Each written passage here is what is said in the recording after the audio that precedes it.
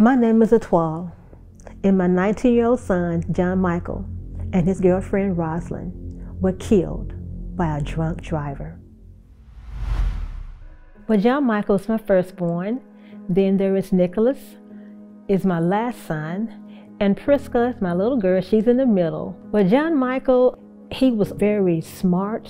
He loved to be perfect in his schoolwork. He loved uh, writing poetry, but he also was very artistic and musically inclined. He played jazz piano, he played the saxophone, but uh, he liked playing sports more than that. It was the last day of exams leading up to spring break because I was getting ready to go out of town with um, my Sunday school class. So we were at the house John Michael was there, and Rosalyn was in the in the car, waiting in the car. And we went inside, and I said, "Well, John Michael, um, you know, we're going to eat something." He said, "Well, Rosalyn want to go and, uh, and change clothes, and we'll be right back." She, he told me she was the one because he, uh, for for Valentine's Day, he wanted to get her something very special, and he was working at a photo shop and he asked me, could he borrow the money and he would pay me back because he wanted to get her something very special for Valentine's Day.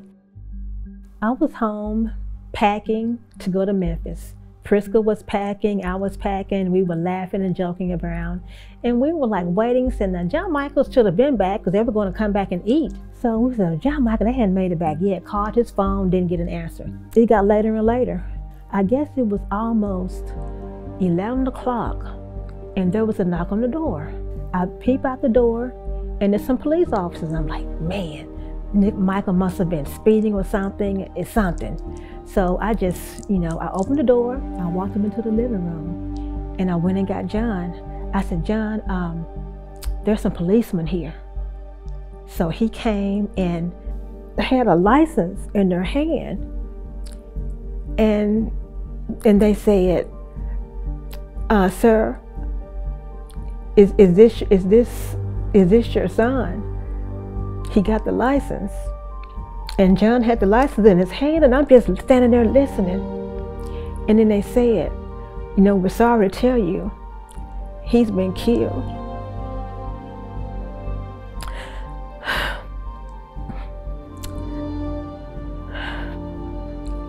And that's when I saw my husband just fall to his knees He's just six feet tall. And he just fell to his knees, holding John Michael's license in his hand. But then Prisca was like, What about Rosalyn?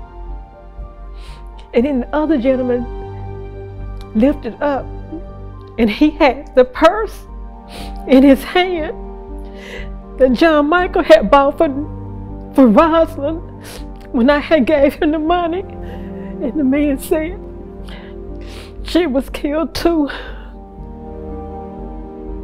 Then I find out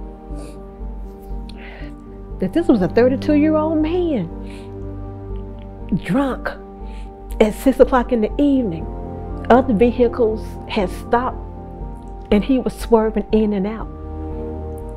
He went around an 18 wheeler and he went around two other cars to speed through there and to hit John Michael and Rosalyn. They died at the scene. His blood alcohol was over three times the legal limit.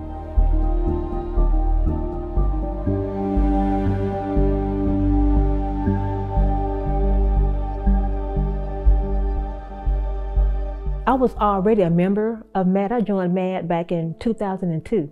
I wasn't speaking at that point. I was just you know, just a member of MADD, and, and, and my kids were a member, you know, of, of SADD. You know, Nick, uh, John Michael was a member of that in school, and, and the other children. Never knew that I would be calling, you know, this organization that I've been sending money to, that I would actually need their services. The first time I really found out that there was technology already available that could prevent drunk driving was when I went to DC. I was disappointed in the fact that the stuff has been there all this time and it could have prevented, you know, this wreck. that, that was very disappointing. So that's why I'm so adamant now. Okay, it's out there. Let's do something about it. Let's use this technology. I am really in favor of the HALT Act because this could have saved the life of my son, John Michael Patrick Jr. The DD that killed my son, it was reported was driving sporadically in and out of traffic. And if he had that technology in his car, would not have run into my son and killed him on impact. My life, the life of my entire family, and his friends have been impacted forever. John Michael deserved to live.